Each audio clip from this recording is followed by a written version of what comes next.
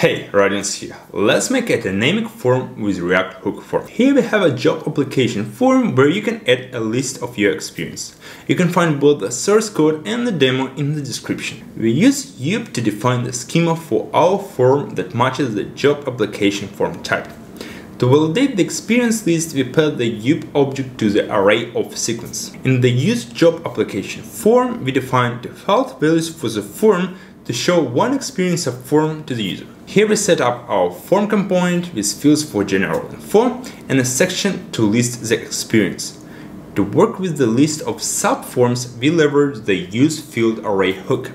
We pass the control function and the name of the field array and receive functions to manage the dynamic form. We display subform by iterating over the field array and displaying experience number with a remove button on the left side and content on the right.